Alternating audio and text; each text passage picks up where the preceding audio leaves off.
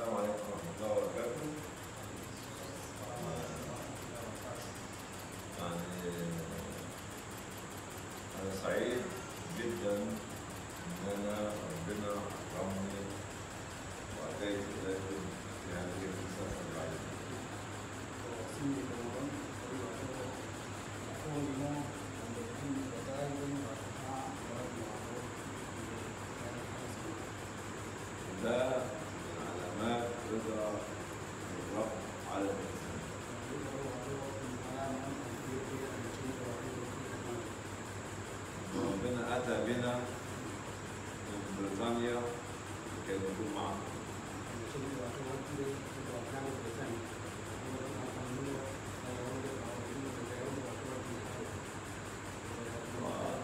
والحمد لله إن إحنا وجدنا المسجد هذا.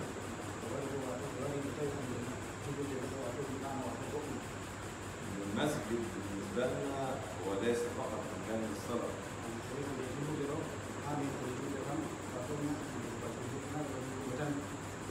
ولكنه كان مكان لاجتماع الرسول مع كل الأصحاب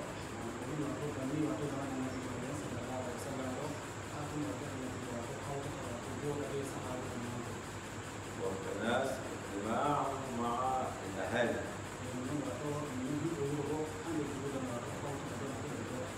الاجتماع لمشاكل الأهالي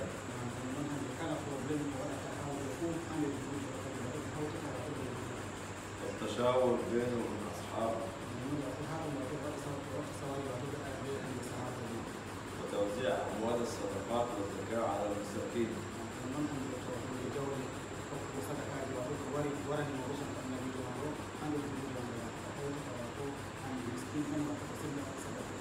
ومكان نزل فيه الوحي على رسول الله صلى الله عليه وسلم.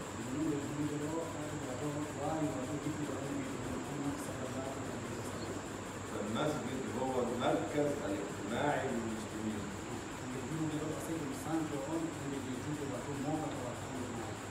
لابد أن نجعل المركز مركز اجتماعيا 24 ساعة كل يوم.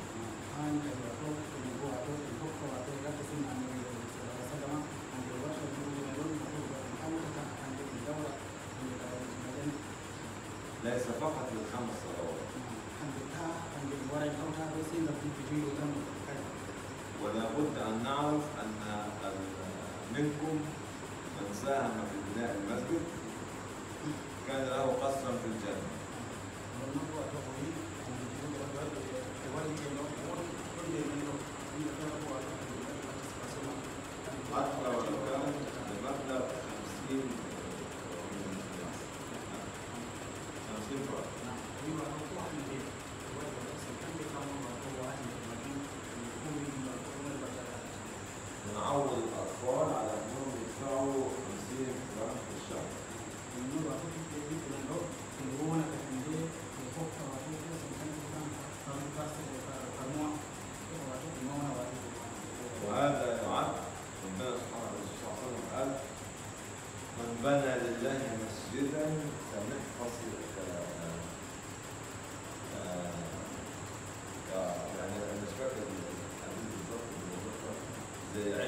عصفور أو عش حمام كان بنى الله لكم بيتا في الجنه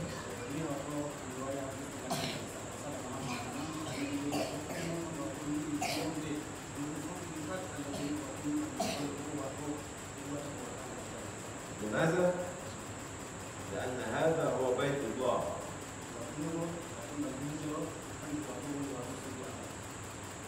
فيحسب له عدد الصلوات والركعات.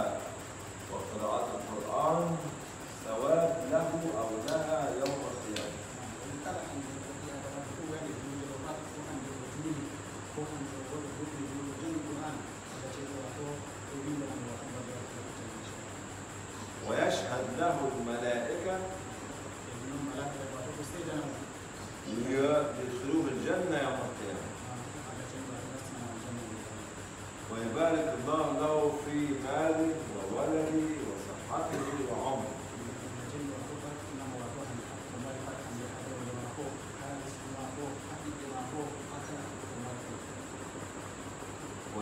المركز الإسلامي هو المحضن للأسرة كلها.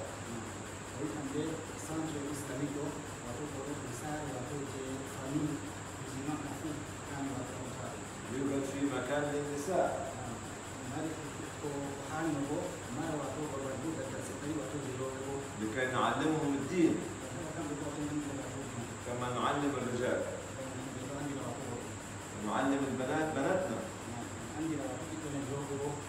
ne wato ko لأن آه، إن لم تتعلم النساء دينها لن تستطيع أن تربي الأطفال على الدين.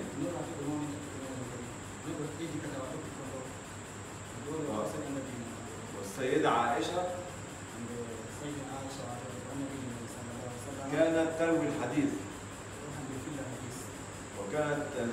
اليها الصحابه عند الصحابة إيه وكذلك السيده حفصه ومن وعطوا سيدنا حفص وكذلك الله عليه وسلم وكثير من زوجات الرسول صلى الله عليه وسلم وكذلك السيده خديجه ومن سيدنا خديجة كانت تقف وراء الرسول بكل شيء بمالها وعزها وجاهها ان شاء الله ومن أن كما وعطوا عند ولد النبي ولا بد أن يكون هناك حصة يومية لكي نعلم النساء في المسجد وحان كي وعطوا أمنا وكتير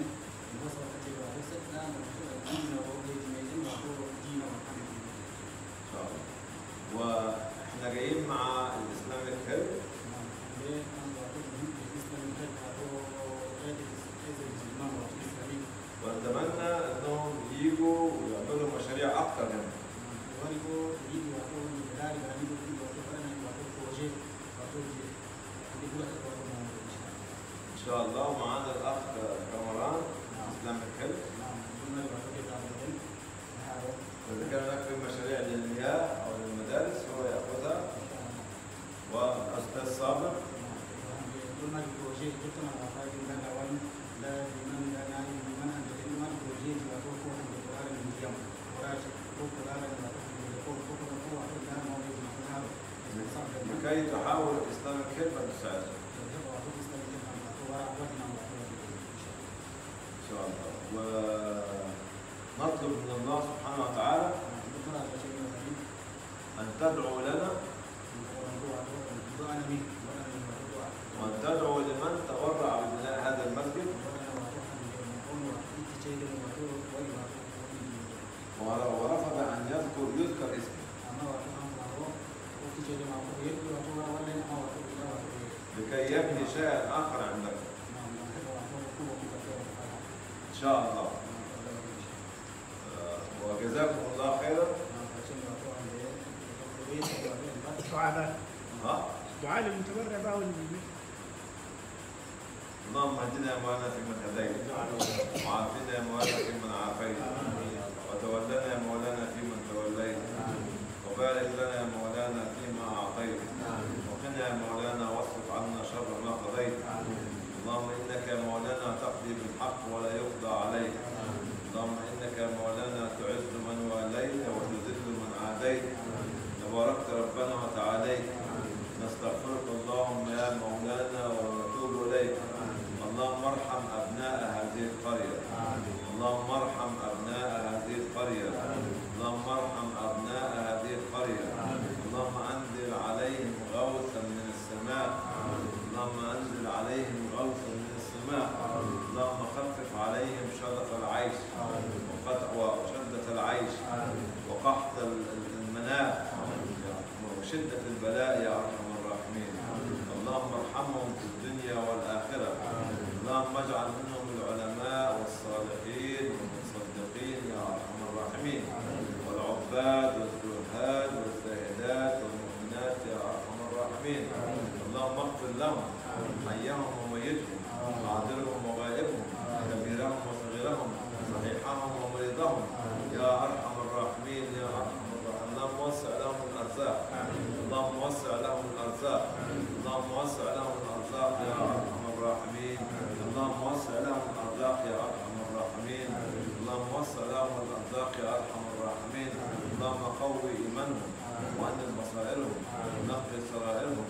واهدهم سبل الرشاد يا أرحم الراحمين. اللهم